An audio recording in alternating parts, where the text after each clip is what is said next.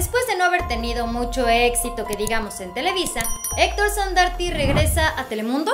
Es cierto que todos y cada uno de nosotros debemos de reciclar lo máximo posible, pero ya basta de los mismos reality shows una y otra y otra vez.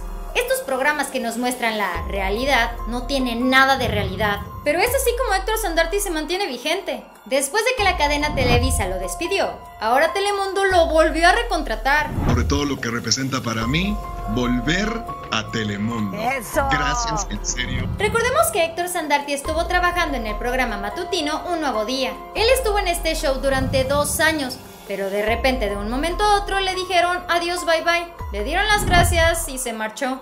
No obstante, con tan solo un día de haberle avisado esto, él ya tenía una propuesta de Televisa para conducir el programa llamado Un Minuto para Ganar VIP. En este show, Sandarti únicamente estuvo un año bajo el cobijo, el abrazo de Galilea Montijo. Ella fue la presentadora que movió sus hilos con los ejecutivos de la empresa de San Ángel para que volvieran a contratar a Sandarti. Sin embargo, cuando Televisa vio que de plano no funcionaba, le tuvieron que dar las gracias, pero pa pronto consiguió empleo otra vez en los Estados Unidos. El placer y el honor de formar parte de este gran show llamado La Casa de los Famosos. Por allá de los años 2000, Héctor Sandarti hizo muy buen equipo con Galilea Montijo. Ellos se quedaron con una muy buena amistad por esta razón. Después de que estuvo en un nuevo día dos años y despiden a Héctor Sandarti, él le pide el favor a su amiga Gali. Galilea Montijo, claro que tiene un gran peso en Televisa, y rápidamente le dieron su propio programa. Pero como no funcionó, Héctor Sandarti estuvo tratando de idearse nuevas propuestas y se le ocurrió tener un reality show.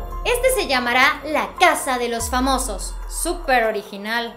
Héctor Sandarti tiene tanta suerte que en Telemundo le aceptaron el proyecto por alguna razón. Solamente que aquí hay un pequeño, chiquitito, minúsculo, gigante, pero Nadie quiere participar en este show. Esto será algo como Big Brother, donde Héctor Sandarti estará conduciendo, al lado de Jimena Gallego. Celular, sin televisión, sin radio, sin nada, con contacto al mundo exterior. Precisamente aquí en nuestro país, Héctor Sandarti tuvo la oportunidad de participar en Big Brother. En su momento sí, con Jordi, con Roberto Palazuelos, con la Vacachencha, con Héctor Sandarti sí tuvo mucho éxito. Pero mientras más pasaba Big Brother 1, 2, 3, 7, 24, 32, pues ya se le quitó el chiste. Tan fan soy que hasta participé en la Ciudad de México Sí. en este formato hace ya algunos A pesar de toda la promoción que le han dado a este programa, la única estrella confirmada es Gaby Spanik.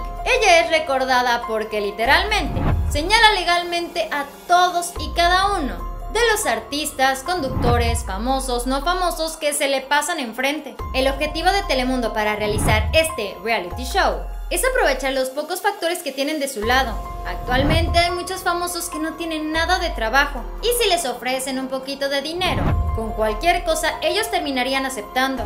Esto por supuesto debido a la situación actual, pero parece ser que los famosos pues no están tan urgidos porque ahorita Gaby Spanik es la única confirmada. Esto fue Famosos de cerca. Dale like a este video, suscríbete y síguenos en Facebook.